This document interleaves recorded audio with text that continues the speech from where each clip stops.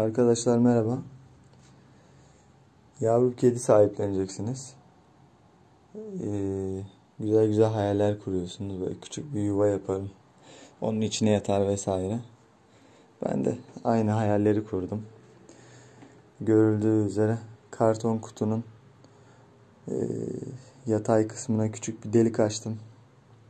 Üst kısmına da böyle dikey çatılı bir kartoncuk ev yaptım.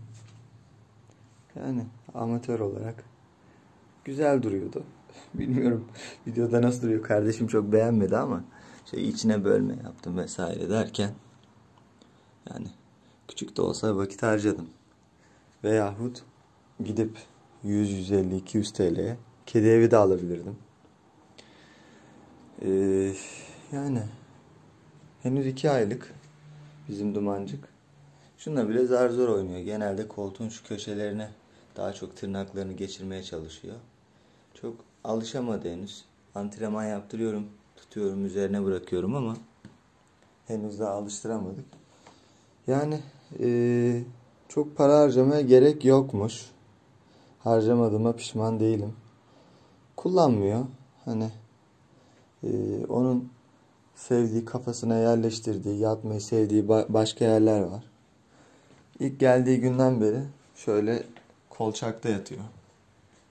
Kolçağa bayılıyor. Baktım sırtını dayıyordu duvara. Üşümesin diye şuraya bir yastık koydum. Ama yani genel manada kolçak hastası. Kolçağa bayılıyor. En kral yatağı ver. Ya bu kolçağa yatar ya da o kolçağa yatar. Yani, e, çıldırmıyor.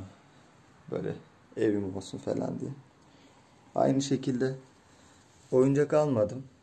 Şöyle yuvarlanabilir top gibi bir şey yaptım. Ama onu da kullanmıyor. Arada ben atıyorum, ben koşuyorum peşinden. Yani iş görmüyor. Bazen buraya giriyor yemek yedikten sonra. Badem giriyor dedim buraya da bir e, sandalye minderi koyayım. Yani şu an için o kadar büyük paralar harcamaya gerek yok. Nereyi isterse oraya yatıyor. Yani tutup içine de koysanız o onu istemiyor.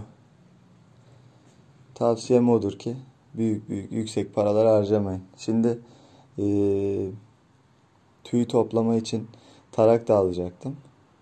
Tüylerini tarayayım vesaire diye. Ama daha bebek. Tüyleri dökülmüyor.